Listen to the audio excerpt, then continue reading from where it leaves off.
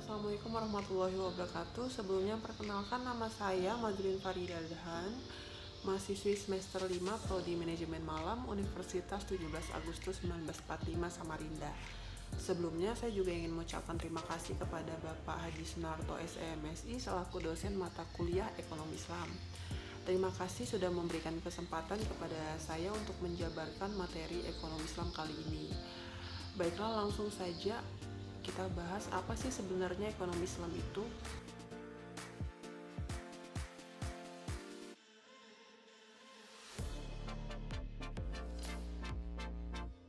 Jadi ekonomi Islam atau ekonomi syariah adalah sebuah sistem ekonomi yang memberikan manfaat kepada semua manusia. Jadi, inklusivitas adalah salah satu ciri dari ekonomi syariah, tidak eksklusif.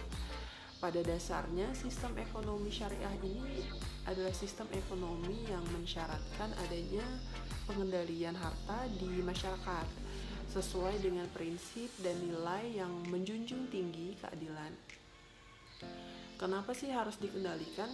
Karena pada dasarnya manusia memiliki kecenderungan sifat untuk menyukai dan juga mengumpulkan harta tidak adanya upaya pengendalian akan mengakibatkan penimbunan harta yang berlebih, harta yang mengendap dan tidak mengalir ke perekonomian itu akan menurunkan produktivitas sektor real yang berujung pada tertahannya akselerasi pertumbuhan ekonomi. Jadi ketika pengendalian harta dilakukan secara efektif, harta akan mengalir optimal menuju investasi dan partisipasi sosial yang pada gilirannya akan mendorong dan meningkatkan pertumbuhan ekonomi. Lalu pada hakikatnya alam semesta beserta seluruh isinya ini termasuk harta kekayaan yang kita miliki adalah absolut milik Allah Subhanahu wa taala.